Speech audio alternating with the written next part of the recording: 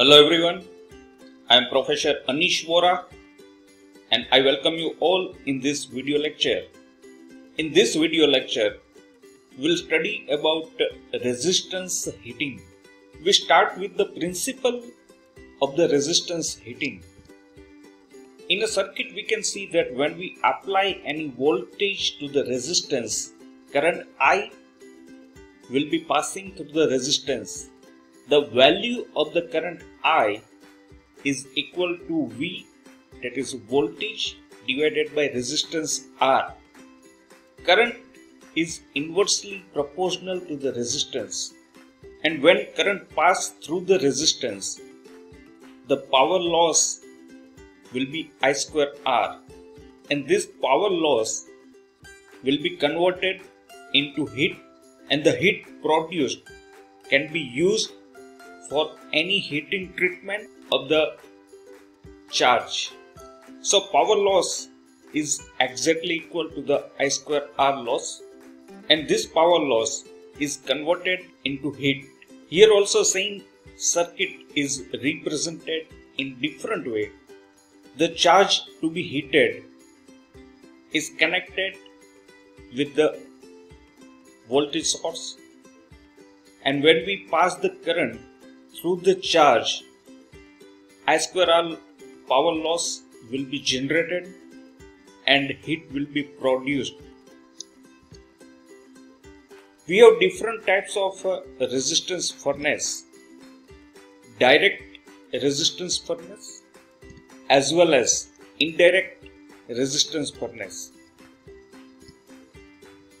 And the principle behind resistance furnace is exactly similar to the principle we discussed for resistance heating.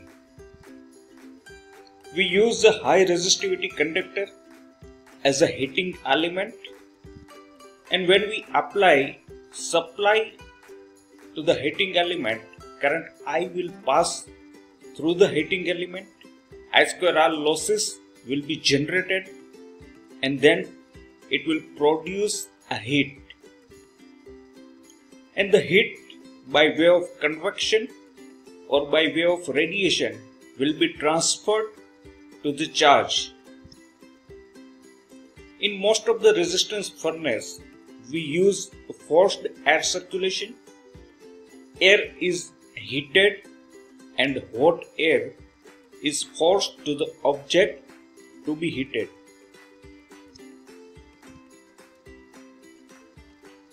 In the figure we can see direct type of resistance furnace. We have two electrodes which is connected to the electric supply and the electrodes are directly in contact with the charge. So when we switch on the supply, current will pass through the electrodes and through the charge. So charge itself will pass the current and that is why the name is given as a direct resistance furnace.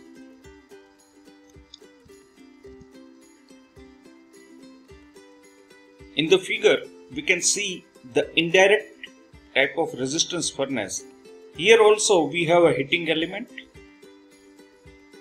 and we pass the current from the heating element but the charge and the heating element are not directly in contact with each other. We have insulation provided between heating element and charge and that is why the name is given as an indirect resistance furnace. If we see the construction, we have metal box with coated inside with heat resistive material. We use either wire or strip heating elements and they are arranged on the side walls of the metal box. In case of single phase, elements are connected in series and parallel combination while in three phase heating elements are connected either in star or delta. In case of direct resistance furnace, Heat is developed in the charge itself because heating elements are connected or in contact with the charge itself and through the heating element and through the charge current will pass. Indirect resistance furnace current is not passed through the charge. Heating element gets heated by flow of current and then heat is transferred by way of radiation. Application Heat treatment of metals like hardening, annealing, deep annealing, etc. Heating and drying process of china clay. For example, porcelain insulators, fuse base as well as top, switch base, baking and cooking for bakery industries, drying of spray painting, enamelling of wires, small coils, transformers, heating of oil in oil filtration process of transformer oil, immersion heater we use for heating water or oil. These are some of the applications of resistance type of furnace. we discuss certain properties of the heating element. The first property is a high specific resistance. If we use the heating element with high specific resistance, then the length required of the heating element will reduce and the size of the resistance furnace and cost can be substantially decreased high melting point. The heating element we use must have a very high melting point. Then high temperature can be achieved with the provided heating elements. Free from oxidation.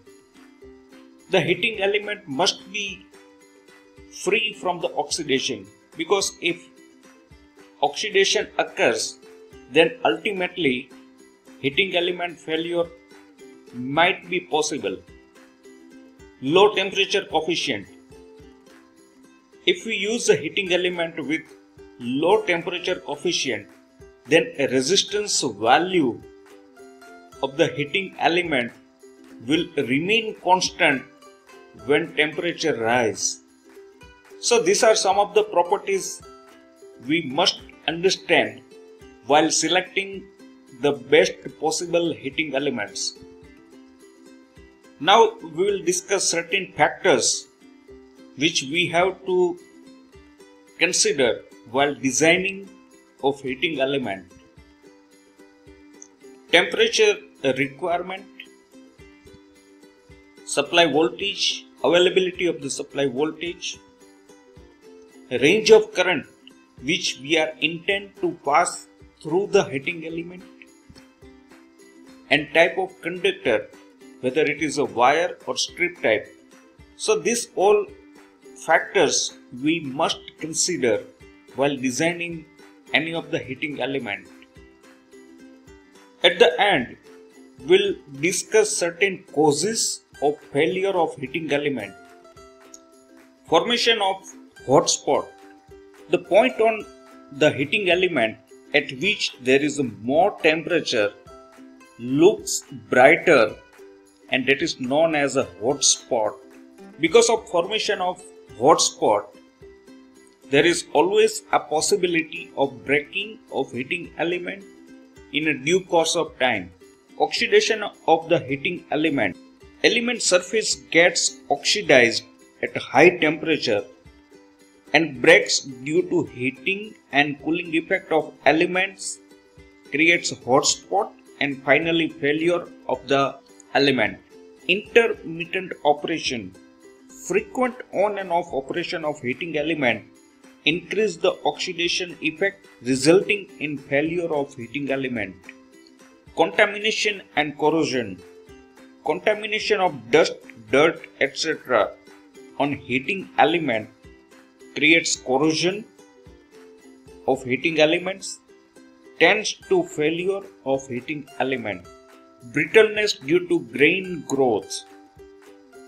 Alloys having iron composition creates grain growth on heating element at higher temperature after long working life, material becomes brittle.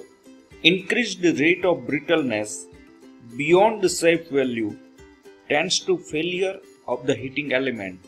So these are certain causes of the failure of heating element which we must know when we use in resistance furnace. Thank you for watching my video. Keep watching. Thank you very much.